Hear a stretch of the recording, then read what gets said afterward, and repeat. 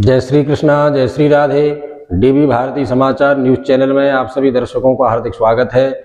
मैं आचार्य राजेंद्र त्रिवेदी शास्त्री, राजगढ़, झांसी।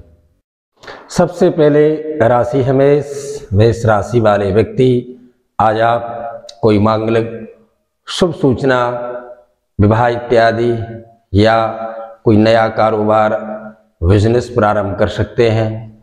आप कृषि जैसे कार्य भी करते हैं। तो आपके लिए श्रेष्ठ उत्तम रहेगा।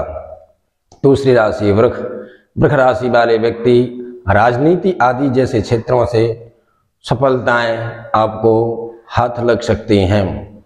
तीसरी राशि मिथुन। मिथुन राशि वाले व्यक्ति आपको भाग का उदय होगा, नए पद की प्राप्ति हो सकती है। चौथी राशि है कर्क। कर्क राशि वाले व्यक्ति आज आप कानूनी कोर्ट कचहरी मुकदमों पर विजय प्राप्त कर सकते हो।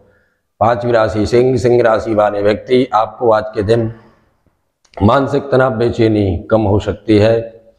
छठवीं राशि है कन्या कन्या राशि वाले व्यक्ति, भूमि इत्यादि से संबंधित कोई काम कर सकते हो अथवा कोई क्रय विक्रय भी कर सकते हो। स्वास्थ्य आपका मध्यम रहेगा। सातवीं राशि तुला तुला राशि वाले व्यक्ति, भाग का उदय, नए पद की प्राप्ति एवं स्थानांतरण के योग बन सकते हैं।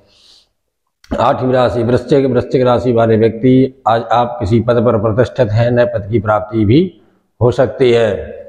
नवम राशि है धनु धनु राशि वाले व्यक्ति, आपको चाहिए, आज आप कोई भी कार्य प्रारंभ करते हैं, भगवान श्री हरि को प्रणाम करें, गाय को रोटी अथवा केला खिलाकर ही निकलें।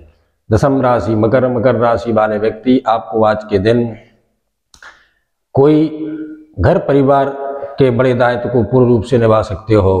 ग्यारहवीं राशि है, कुंभ कुंभ राशि वाले व्यक्ति, आपको आज के दिन ज़मीन इत्यादि, बिल्डर्स इत्यादि, कंक्रीट उद्योग आदि जैसे क्षेत्रों से सफलताएँ हाथ लग सकती हैं, अथवा आज आप दुकानदार हैं तो भी आपको सफलता हाथ लगेगी। बारहवीं राशि, मीन मीन राशि वाले व्यक्ति, आपको आज के दिन व्यापार इत्यादि से संबंधित लाभ प्राप्त होगा, स्वास्थ्य उत्तम रहेगा।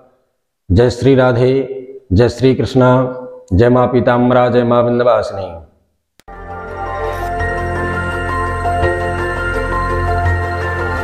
देखते रहिए डीबी भारती समाचार, नज़र हर खबर पर।